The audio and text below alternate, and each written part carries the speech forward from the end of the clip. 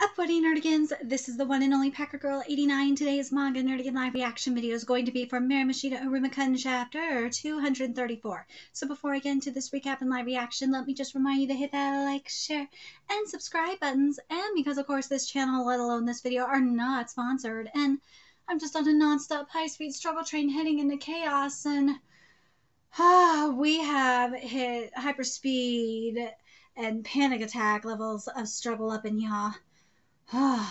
but if you love what I'm doing and want to help keep this channel alive and kicking, feel free to hit up my Cash App and PayPal. Those links are in the description box below. So we're starting off this year with Parsons' backstory, which I'm really excited about. And we're going to see Parsons' bro, which remember, his bro been missing. So this is going to be very, very interesting. I swear to God, if we see him by the end of this arc, I'm gonna goddamn die. I will die laughing. Anyways, let's get to this chapter, see what's in store for us this week, and see how we're gonna be starting off 2022. Here we go.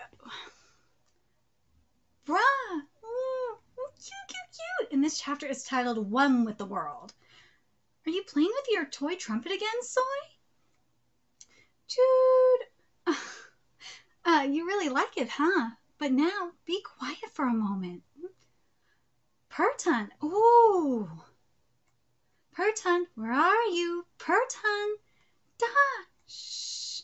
Listen carefully, Soi. Don't make a sound. Imagine ice cream melting into the ground on a sweltering day and slowly, slowly blend into the air around you. I know you can hear a lot of noise right now, but you have to block it all out. Soi, you are now one with the world. The title of the chapter. See what you're doing here. Hmm. Honey, have you seen Soi? Uh, you're as lovely as ever. No, and I can't find Perton either. Uh, where could they have gone off to? Let's look for them. Ma? Soi? Uh, where are you? Soi? He's crawling. He's not here. Um, he's not here. Maybe he's in a different room. Um, must have misheard then. Let's go. look at this. This art is great.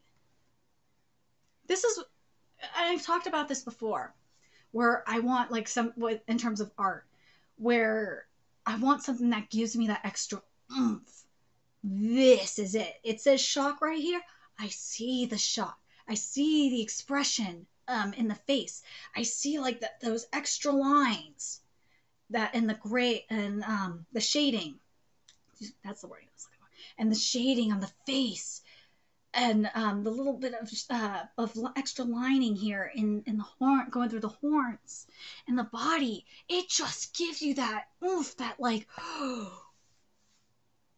that shock.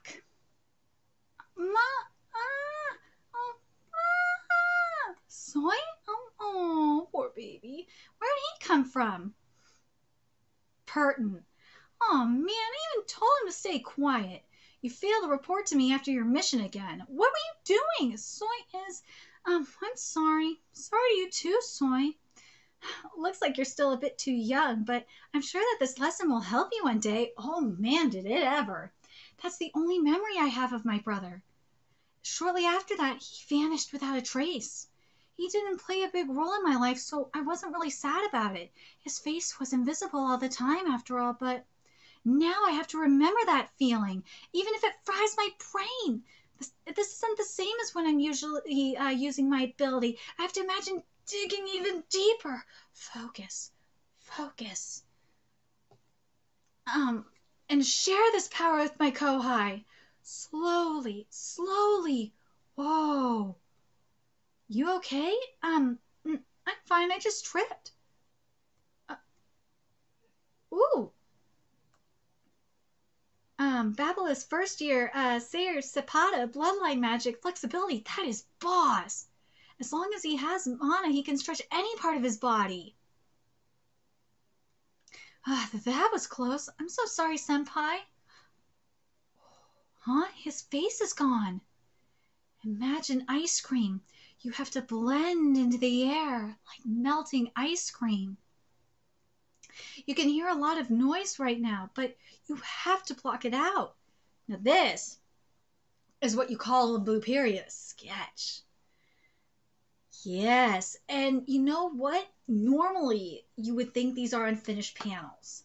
Normally. But this is a situation where you can tell this is these are not unfinished panels because it works because you are in this invisible world.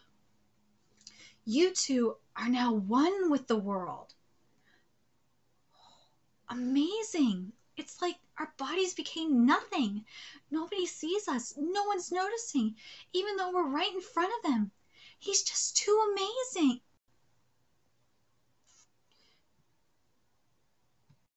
And it's interesting because if you think about it, what Soi can do is very, very incredible. And I think he might be able to do it better than his brother um, for a couple of reasons. Or actually, the main reason being is because Soi is able to become one with sound because of his music, right? He has that ability. If he can combine that with becoming one with the world um, via becoming invisible, that will be out of this world. That will take it. That will be like like a mega evolution of this. He will truly. He might not be one with the world. He might be one with the universe at that point. I'm curious what you guys think about that.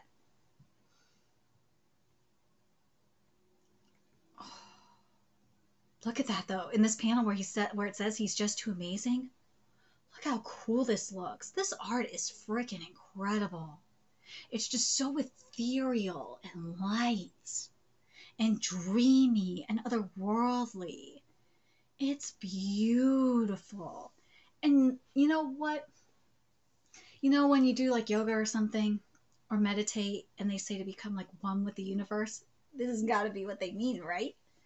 So gotta wonder if maybe if this is maybe if you do use um Soi's method, the Parson method, maybe you could be one with the world, maybe even one with the universe. um, they're gone. Are we safe? Um, did I do a good job? I'm. Uh oh. oh shit! Yum! Oh no! Oh no, we got caught! Did he get the balloons? He got both the balloons. Oh no, we got both the balloons. No! Bastard! But how did he see them? How did he see? Did he? Didn't he make the balloons invisible though?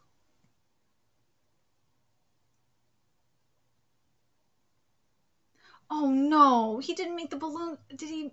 Or no, they must have become visible. And hold on. Oh. No. No.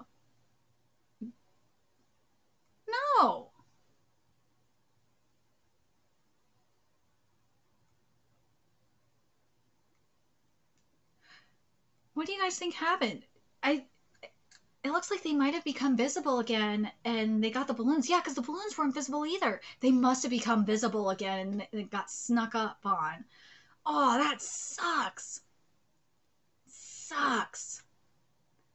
But damn, I'm really proud of, even though Soi is knocked out of this, he did a fantastic job. And now we know a little bit about his brother. We don't know much about him, but we're going to see him at some point. And you have to wonder if the point we're going to see Soi's brother is going to be when he becomes one with one with the well, well maybe one with the universe, maybe. Hold on a sec.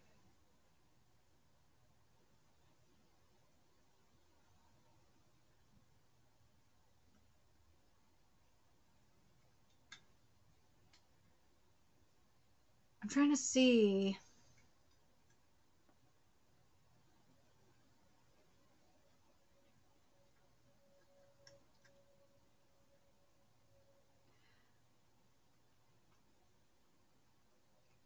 Because I'm thinking maybe Parson would be able to see his bro. I think he might be able to see his brother.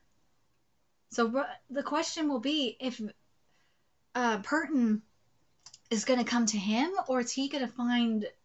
Is he going to find Purton? But when will it be? I think it's going to be a matter of when. I don't think it's going to be right away. Nah, nah. Do I think it's going to be in this? Uh, it might be. You know when it might be?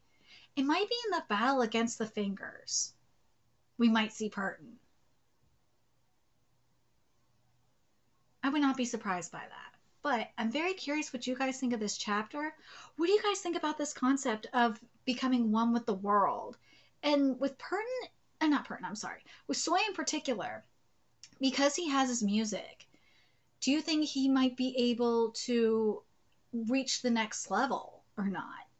I think he might. I think he might be able to become even one with the universe because of the because of music. I really do. I'm very curious what you guys think. Let me know your thoughts in the comment section below. And remember to like, comment, share, and subscribe to Nerdigans Inc. if you love what I'm doing and want to help keep this channel alive and kicking so I can keep bringing you more Iruma-kun content. A few ways you can do that. Donate to my Cash App, PayPal, Patreon, purchase something off my Amazon wishlist, all that's in the description box below. Also, make sure you follow me on Twitter, Twitch, Discord, find me on PlayStation Network. That's in the description box below as well. Till next time, Nerdigans, I will be seeing you later. Bye.